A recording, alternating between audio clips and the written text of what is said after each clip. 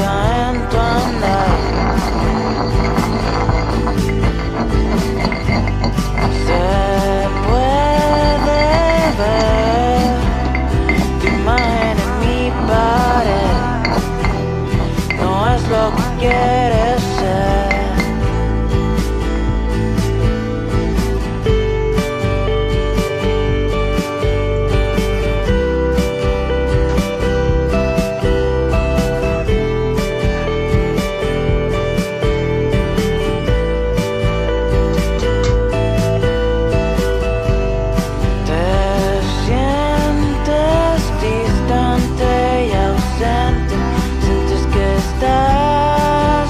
por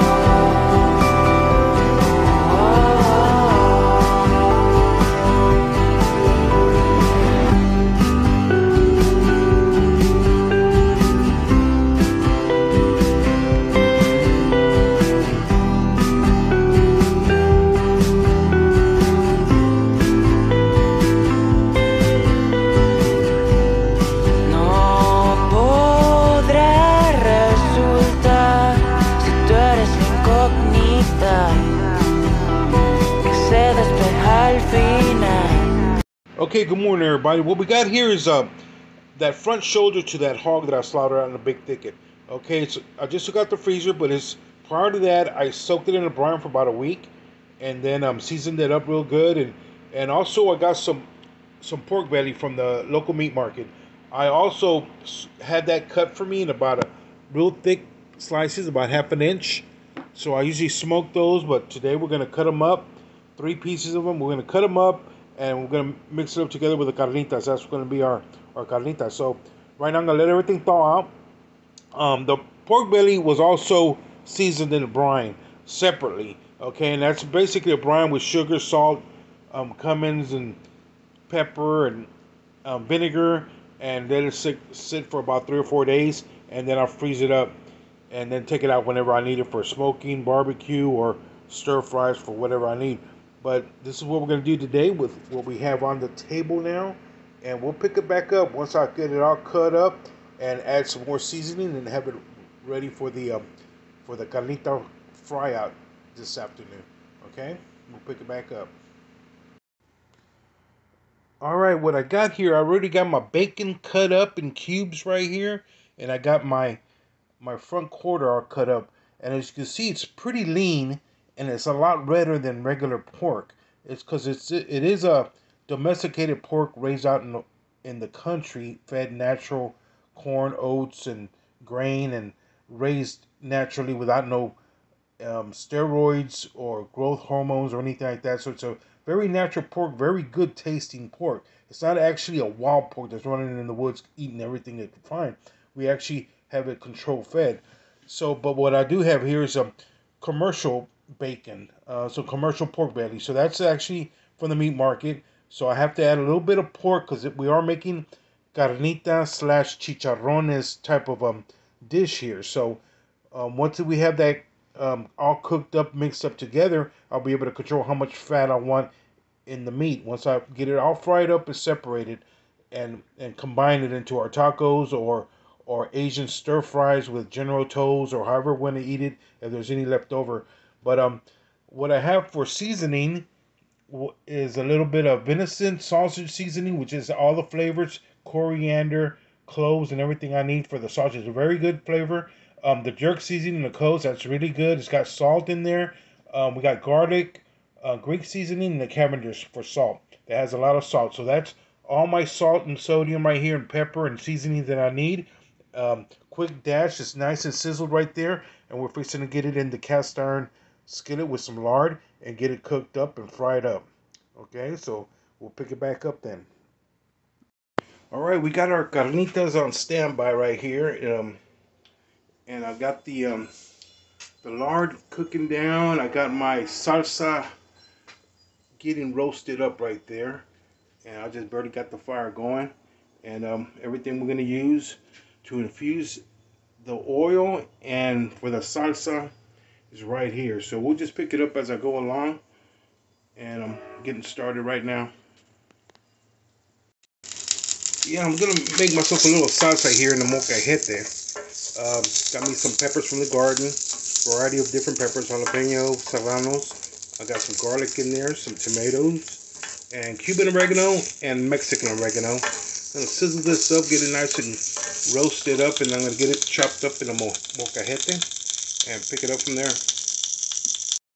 Alright, to infuse my oil, I already put some green onion in there, and I got my salsa doing good. But to infuse the oil, I'm going to add a few of these um, cayenne peppers, some bay leaves, some garlic, and some cloves. Um, just a small amount. There we go. And um, bay leaves. Some bay leaves and a few of these um, cayenne peppers and some garlic. And get that good. And I'm fixing to get the meat in there. And my salsa is doing good. I got to give it a little stir. Roasting up. Yeah. And we'll pick it back up when I get the meat in there. All right, I got the carnitas cooking down. I already added the oranges. I also added all the seasonings I had. Bay leaves, garlic, everything. Also, right here, what we have here is a, a kumquat. Uh, preserved kumquat. When I had a kumquat tree, I um, preserved them. And it has um, anise and cinnamon in there. And I put a few of those in there. I use those to cook Asian dishes. I said might as well put them in here. They go good with pork. I got orange, lemon in there. Have squeezed. It's cooking down. It's going to take a little while for it to render down. I got my tomatoes for my salsa right here. And I'm fixing to get that chopped up lightly. And to get it um, in a molcajete. And add one lime and a little bit of sea salt and pepper. And keep it going. But we got plenty of time. It's to be a while before this is done. So I got my boxes right here for the rendering of the of the fat. And we'll pick it up from there.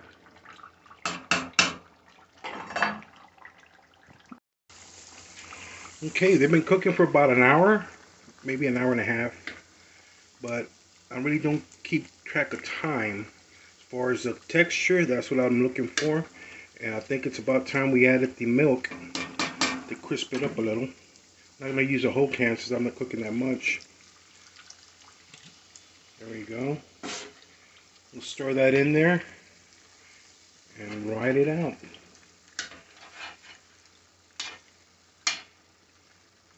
There we go. All right, what we have here is the finished product, but not quite finished. We're gonna put it in the air fryer. It tastes really good. I've already been nipping at it. I transferred it from box to box, remove as much grease as possible, and now we're gonna let it cool off. Wait for dinner time, and before that, we're gonna put it in the air fryer for about maybe 10 minutes at 350 and give it a nice crisp all the way around and then we're gonna chop it up and make some tacos. Um, it was really hands-on, so I couldn't really be taping while I did it. You know, we were dealing with hot grease, and I didn't want to make a mess, so you know, we'll just pick it back up. But basically, that's what I did. I cooked it down for about um, must have been about two hours till I finally finished it up, and and then I fished it all out of there, trying not to make a mess, and use the boxes to absorb all the grease. I used about four of these, and I'm down to this one, and I'm gonna transfer it to a tray on a elevated rack and it's going to fry up in the air fryer and we'll pick it up then.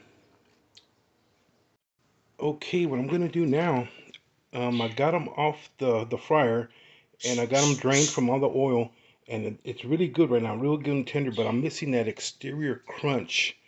And the milk that it's coated with is to actually create a nice little crunch to it. But I'm to have to put it in the air fryer for about 10 minutes. And that's to be prior to serving. I'm to get them all chopped up and we're good to go. So right now it's to be on standby for maybe an hour and a half. Okay, we got them elevated in the oven and we're fixing to air fry them for about 10 minutes. Nothing for you.